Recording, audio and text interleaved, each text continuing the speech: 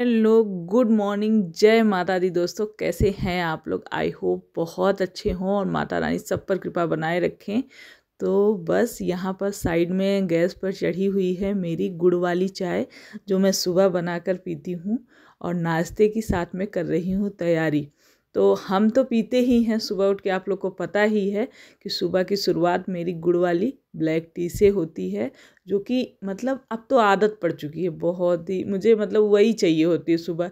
अगर दूध वाली भी चाय अगर बन जाए ना, और साथ में अगर ब्लैक टी रखी रही मेरी गुड़ वाली, और साथ में दूध वाली चाय हो तो मैं कहूँगी मुझे गुड़ वाली ही दे दो, इतनी अच्छी लगने लगी है, आदत सी पड़ गई है।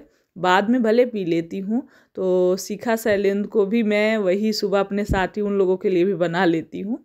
तो कहीं मैं पूछती हूँ, कहीं ऐसा तो नहीं आप लोग को ज़बरदस्ती पीना पड़ता हो मेरे साथ? में बोलते, नहीं नहीं, अच्छी लगती है, पता नहीं वो कहीं हमारी वजह से नहीं बोलते कि सुबह सुबह आप लोग पीते हैं तो हम भी पी लेते हैं।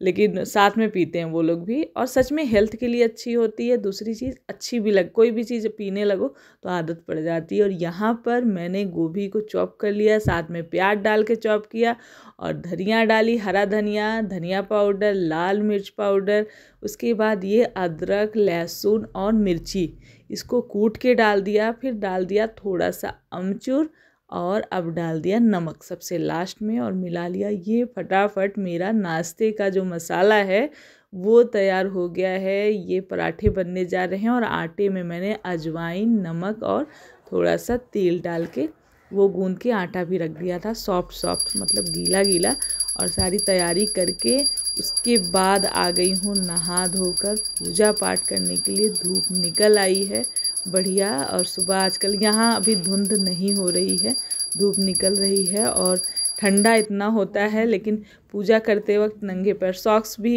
मैं नहीं पहनती हूँ, क्योंकि गंदे हो जाते हैं। आजा जल्दी से नाश्ता करना ब्रश हुआ कि नहीं? अच्छा।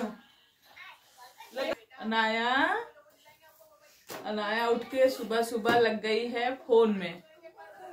अनाया। कुछ कोई रिएक्शन नहीं कोई कुछ नहीं। इधर सुन लो मौसी बुला रही है। देखो मौसी बुला रही पहले सुन लो बोलो मौसी मौसी। बोलते ही नहीं है ये बच्चे बोलते ही नहीं है। ये असर है आज की पीढ़ी का। बोलते ही फ़ोन। अरे बाप रे गुस्सा गुस्सा। लाइक कर दो बोलो। बोला।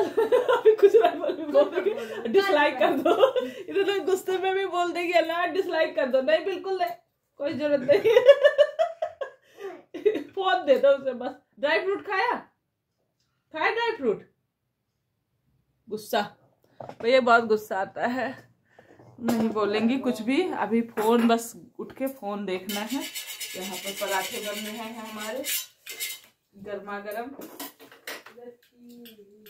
दीक्षा तो मेरे पराठे फटाफट से बन रहे हैं और कई लोग क्या होता है कि मैं नहा के नाश्ता बनाने लग जाती हूँ पूजा पाठ हो जाती है और ब्रश भी नहीं हुआ रहता है। तो मैं सबको यही कहूँगी कि नहाने के चक्कर में मत पड़ो, अभी सुबह आके गरम गरम पराठे खा लो, क्योंकि गरम गरम खाने का मज़ा ही कुछ और होता है। ठंडे हो जाते हैं तो कोई भी पराठे हों, पूड़ी हों, कुछ भी, वो टेस्ट नहीं आता खासकर ठंडी में तो गर्म ही अच्छा लगता है। तो आ जाते हैं सभी, और वैसे भी कहीं बाहर जाओ तो वो हमारा घर वाला घर वाला जो रूटीन होता है, जैसे हम घर में करते हैं, प्रॉपर टाइम पे नहाना, धोना, पूजा पाठ, वो कहीं जाते क्योंकि मैं भी जब मम्मी के पास जाती हूँ ना तो मम्मी भी कई बार मुझे ना कहेंगी, आके पहले नाश्ता कर लो, ब्रश किया है, उसके बाद नहाना, धोना बाद में। तो यहाँ मैंने भी सीखा को बोला, नाश्ता कर। तो कई बार सीखा तो जल्दी जल्दी नहा लेती है मेरे पीछे जाके और किसी किसी दिन ऐसा हो जा रहा है कि नहीं नहाई रहती तो मैं कहती हूँ, आ जाओ, तुम नाश्ता कर लो।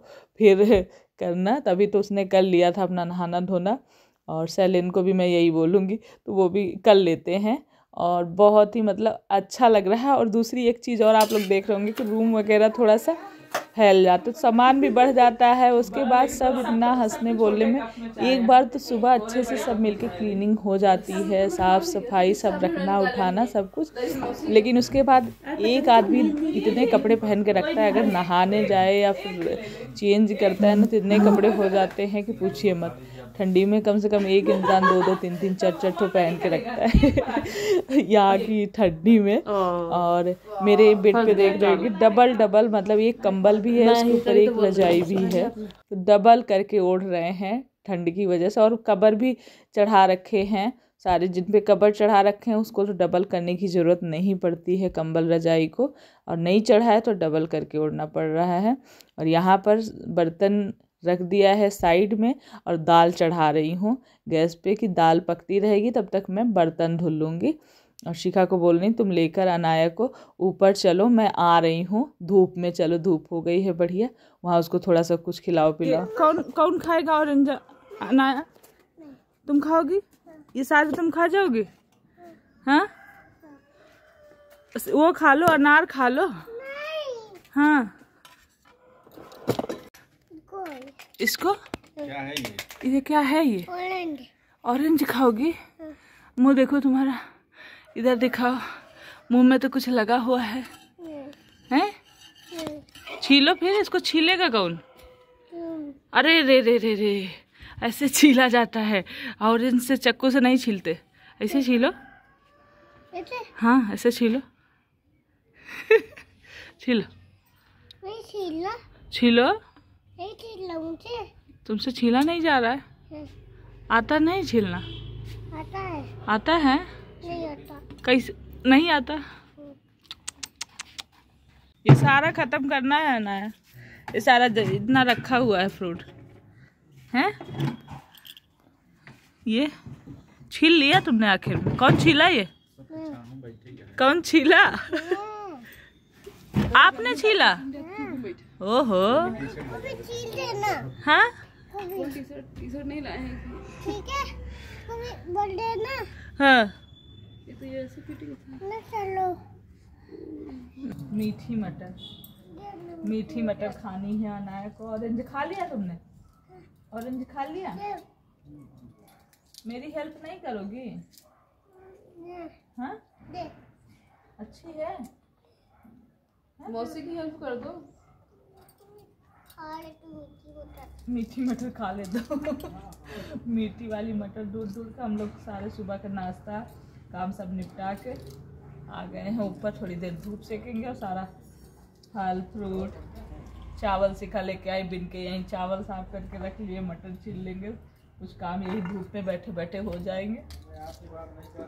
तब हम लोग चलेंगे फिर नीचे। मौसी की हेल्प करो। कर रही हो?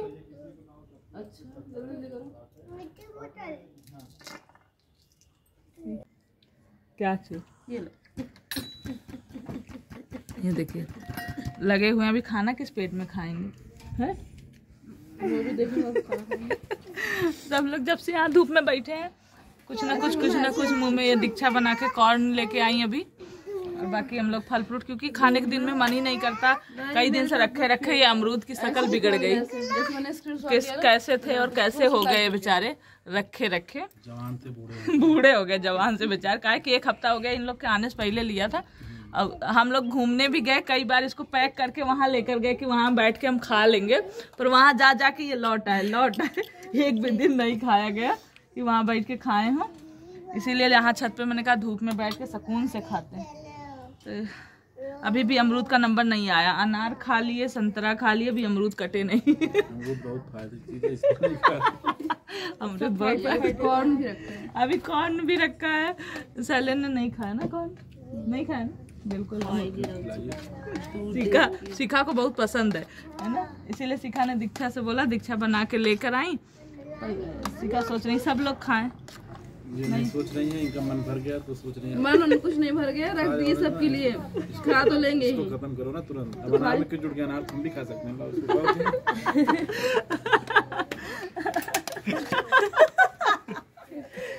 पीछे पड़ा है? खराब निकाल रही हूँ खा लो सारा ए, एक कटोरी तो शिखा ने खा लिया था भाई लेकिन दूसरी कटोरी जो है वो भी सैलेंट कर तुम ही टेस्ट करने के लिए भी तुमको तो ठीक पसंद पसंद है तुम ऐसा करो तुम ही खा लो सारा।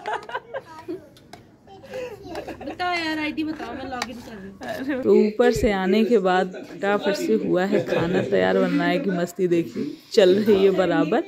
दाल बना के ही गई थी, सब्ज़ी भी काट के रख के गई थी, कद्दू की सब्ज़ी बनाई मैंने, सलाद, अचार, दोपहर का सिंपल सादा खाना, दाल, चावल, रोटी, सब्ज़ी, सलाद, अचार। ये है और आमले का जो अचार बनाया था वही। तो मिलजुल के फटाफट सीखा और मैंने मतलब दीक्षा देने में मतलब दो तीन लोग हो जाते हैं तो बहुत जल्दी हो जाता है करने के बाद। और खाना पीना हुआ, फिर थोड़ी देर मैंने वीडियो वगैरह एडिट करके डाला और अभी हो गई है शाम। और ये मैं रख रही हूँ कप में छान के सिखा के लिए काढ़ा, क्योंकि उसको खांसी बहुत ज़्यादा आ रही थी तो मैंने आज उसको काढ़ा बनाया था। तो एक बार दिया था दोपहर में पीने के लिए और एक बार खाना खाने के बाद एक बार अभी रख दे रही हूँ कप में फिर से दोबारा पी लेगी। और अनाया को इस समय उसको भी खांसी आ रही थी, उसको तो मैंने अदरक का रस निकाल के उसमें शहद डाल के रात रात में दिया सोते वक्त। भूल गई आप लोग को दिखाना, उसी से उसको आराम हो गया, कोई बिना दवा के। तो आप लोग को भी अगर बच्चों को ऐसा होता है ना तो दव, पहले तो घर वाला अपना घरेलू उपचार किया करिए और बाद में फिर नहीं ठीक होता तो दिखाइए डॉक्टर को, दवा ले आइए। इस तरह से मतलब होता ही है। वैसे भी हम लोग की तो आदत है। बहुत लोग होते हैं। सीधे तुरंत थोड़ा सा कुछ भी हुआ डॉक्टर के पास।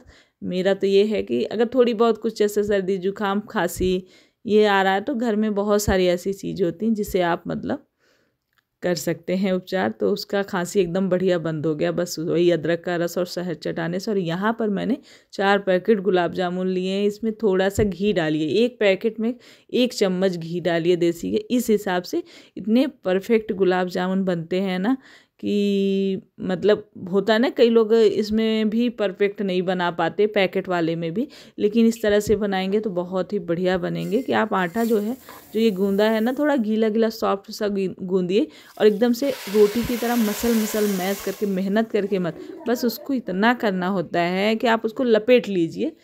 और जब बाद में गोलियाँ बनाएँगे तो अपने आप वो चिकना हो जाएगा। ये नहीं कि उसको चिकना करके गूंद के रखिए, ऐसा नहीं करने की ज़रूरत है। और एक पैकेट में एक चम्मच डाल के घी और नॉर्मल पानी से गूंद लीजिए। और मेरे हमेशा गुलाब जामुन इसी तरह से मैं बनाती हूँ, बहुत ही बढ़िया बनते हैं। और चीनी चीनी जितनी मतलब आप डालते हो उतना ही पानी डालना होता है गुलाब जामुन में। ये रेशियो परफेक्ट होता है। तो वैसे तो पैकेट जो रहता है, उसमें भी लिखा रहता है कि आपको क्या कैसे करना है। फिर भी मैं जो बना रही हूँ तो मैं इसलिए बना रही हूँ कि कुछ तो अभी लड्डू हो गए हैं ख़त्म तो कुछ मीठा खाने के लिए चाहिए तो इसलिए मैं ढेर सारे बना रही हूँ। इसमें से कुछ थोड़ा सा पैक करके रख भी दूँगी कि जब जैसे सिखा के जाने के टाइम पे मुझे उसको सफ़र में कुछ देना होगा तो उसमें भी काम आ जाएँगे, इसीलिए मैंने इकट्ठे ढेर सारे बना लिए हैं। कुछ तो मैं, जैसे जाना आना होता है तो हबड़ा दबड़ी, फिर कुछ ना कुछ बहुत सारी चीज़ें हो जाती हैं। उस समय मुझे ना मेहनत करनी पड़े तो दोनों ही काम हो जाएँगे और यहाँ पर मेरी चाशनी, जब उबलने लगे, पाँच मिनट उबालना होता है। जैसे उबाल आने लगे तो आप चाशनी को पाँच मिनट उबालिए और चाशनी हो जाती तैयार। इसमें कोई पढ़ने लिखने इसमें आप इलायची पाउडर भी डाल सकते हैं, केसर भी डाल सकते हैं, चाशनी को और ज़्यादा अच्छा बनाने के लिए, टेस्टी बनाने के लिए। फ़िलहाल मैंने जल्दी जल्दी में नहीं डाला है, सिर्फ़ आप लोग को बता रही हूँ। और मीडियम आँच पे, गुलाब जामुन को मीडियम आँच में पकाना होना होता है। मतलब ना तो तेज़ एकदम गैस, ना एकदम स्लो। और यहाँ पर मेरी चाशनी पड़ गई थी कम, क्योंकि मैंने कुछ ज़्यादा ही गुलाब जामुन बना लिए थे। तो मैंने ना बाद में अलग से, फिर से और चाशनी बना के ऊपर से और डाली थी, क्योंकि ऊपर सूखे पड़ रहे थे गुलाब जामुन। और जो नीचे थे, ये देखिए फूल गए हैं, बढ़िया नीचे वाले जो गुलाब जामुन थे, फूल के बड़े बड़े हो गए थे। तो मैंने कुछ निकाल भी लिए जो नीचे वाले फूले फूले से। मैंने कहा, चलो थोड़ा सा ये भी कम हो जाएँगे तो जो ऊपर सूखे पड़े हुए हैं। ये अंदर जा अभी छन ही रहे हैं मेरे गुलाब जामुन साथ में।